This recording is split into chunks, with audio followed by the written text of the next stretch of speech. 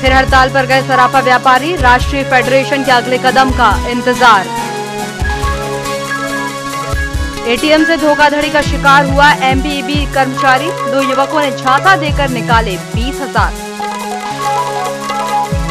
निर्विरोध जीते बीजेपी के सोलंकी फग्गन गहलोत और नजमा तो कांग्रेस से सत्यव्रत चतुर्वेदी निर्वाचित।